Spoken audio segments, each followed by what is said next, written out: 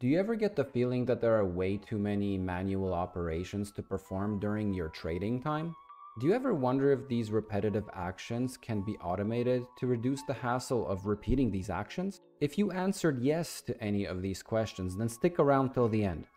I certainly had that feeling the other day when I was trading, and I realized I probably better just automate that, put it into a script so that I could just bulk order some of this stuff. So that's exactly what I decided to do. And since I haven't coded anything in a while, I went to my friend Claude for some help. Now you probably know this already, but in case you don't, Claude is an AI and Claude is really good in coding. So I asked Claude to write a script that could auto modify stop losses whenever I put the script on the chart. Now I did mention that I wanted 20% risk and that was my first problem.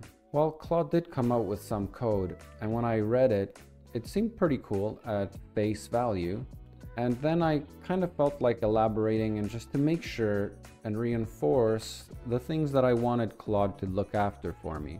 Claude also had some pretty interesting ideas on how to make things even quicker with hotkeys and other options. And I feel like, yeah, those are pretty cool, but I decided not to. But it's a good idea. So I ended up putting it into MetaTrader Editor or the Meta Quotes Editor and seeing how it will perform. I took Claude's code and I erased everything in this window, then I hit compile. Back in MetaTrader, I hit buy and I opened the auto trading. Then I slid the script that I just worked on onto the chart to see if it had any effect. It did have an effect, but it didn't exactly have the intended effect. It changed it by 10,000 and not by $20. So I went back to Claude and I was like, dude, WTF, I'm not really getting what I asked for but you know, in like a robot language. And Claude's like, ah, yes, I understand. So I copied and I pasted it and just basically checked out whether that piece of code would work.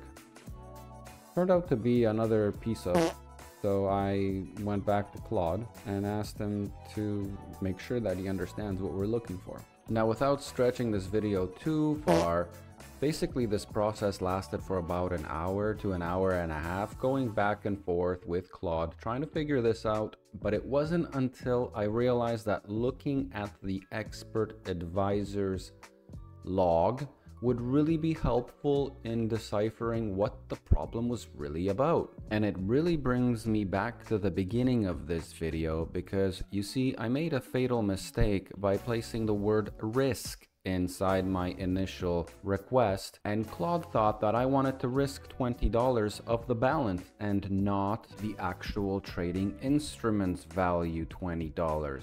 And there I discovered that this was the problem so now I could proceed to finish this accordingly.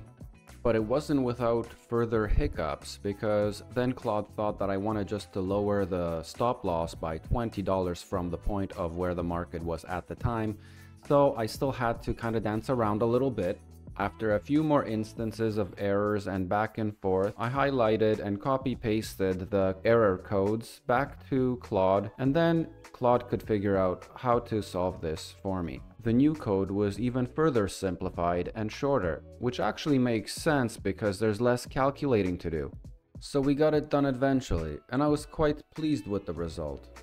So I went and I proceeded to do this same thing for the sell side, and then eventually proceeded to do some take profit management as well as I did for the stop loss management, so that helped out a lot. I was really excited to use this on my next trading day and really eliminate more of that monotone and manual labor that I really don't want to do because the human mind isn't really great at calculating and doing at the same time. So I can't be looking at a chart, checking out how far I want to move it, how many trades are there, where are the trades, sorting them, and all that stuff. I just want to be able to, with one swoop, just move a bunch of things that I already decided and it's already pre-calculated and moving it ahead without my further intervention and thinking. With all that said, I want to thank you for watching and if you're interested in seeing this script at work on a real trading day, Follow the link so you can check out my previous trading day where I actually use it. Thank you again. See you on the next video.